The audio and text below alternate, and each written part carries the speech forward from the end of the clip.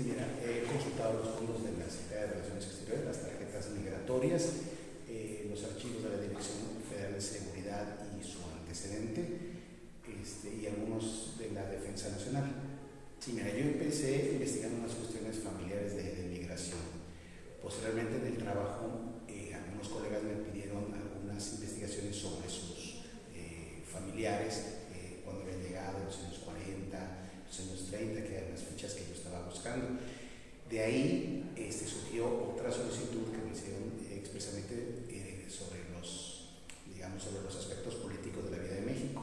Entonces ahí empecé a buscar en el, en el archivo confidencial, en el, lo que se llamaba el servicio confidencial de investigaciones, posteriormente DFS, y ahí empezamos a investigar la vida política en México, de organizaciones, para empezar sobre el sinarquismo, sobre la guerra cristera, y, y entonces eh, solicitamos algunas versiones públicas, por ejemplo, que no existían, por ejemplo, del Partido de Acción Nacional, a pesar de ser un partido ya bastante antiguo, no había un archivo ordenado lo solicitamos y sí, efectivamente salieron eh, aproximadamente 30, 30 legajos de, este, de Partido de Acción Nacional, bastante amplio.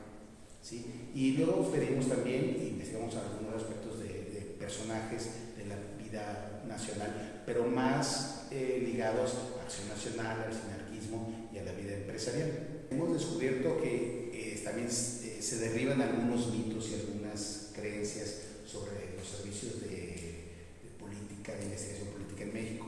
Por ejemplo, eh, se cree, o se creía, mucha gente la idea, que, que, que, la, que, las fichas de los personajes de la vida política en México eran como seguimientos policíacos. Y entró a tal casa y, se, y salió a tal hora, y, este, y anda con fulana, o anda con perengano, se entra a la cantina tal. O sea, hay la idea así como que es un servicio así como si fueran detectives privados y no, porque los archivos políticos sí viene a veces algo así, alguna referencia, pero lo que más les importa, lo que más les interesaba a los agentes, a la, DFS y al, y al servicio anterior, era su acción política, a qué mitin fue, qué es lo que dijo, o sea, realmente lo que les importaba de política. Entonces, eso fue un descubrimiento interesante, desmitificar también el el sentido de estas investigaciones y que además eh, con esto fuimos observando cómo fue, digamos, eh, por qué fue, decayeron estos servicios, porque si al principio era un seguimiento muy puntual de las actividades políticas, después se nota ya en los últimos años de la DFS que eran fichas por llenar expedientes. Entonces lo que busco es pues, llegar a confrontar los archivos con, con la historia, ¿no? con, con la vera historia. De la caja 54 del expediente 1 el antiguo servicio de, de, inteligencia, que se llamó DFS, y luego, o el servicio, el departamento confidencial, como se llama en 1925, es muy interesante porque aquí viene un documento que es único eh, en, en, ese sentido. Aquí habla, por ejemplo, el señor Luciano Trigos, que es un agente del servicio confidencial. O sea, estas son las fichas, digamos, de los, de los de los espías o de los encargados de espiar la vida política de México.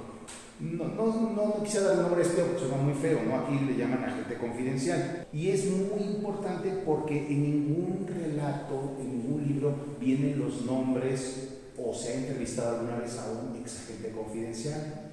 Entonces, pues gracias a estos documentos podemos saber un poco cómo se desarrollan, porque aquí el agente confidencial no solo habla de sus investigaciones, también los reclamos, que no le llegaba el sueldo, que no llegaban los viáticos, que tenía dos meses sin cobrar, que, este, que solicitaba permiso para, para este, unas comidas, etc. También las dificultades propias del trabajo, ¿no? Y cómo lo va resolviendo.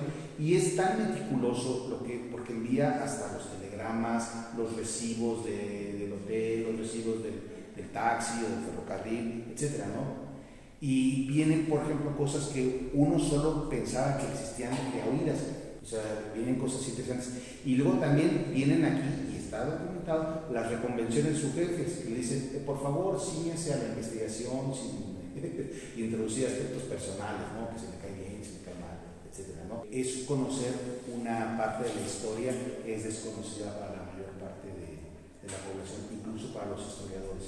Y creo que la labor del historiador, del periodista, es hacer trabajo de archivo, que es el más difícil, es el más complicado, es tal vez este, el, eh, donde se puede estar buscando mucho y solo encontrar un pedacito de lo que se busca, pero es el trabajo más fidedigno. ¿no?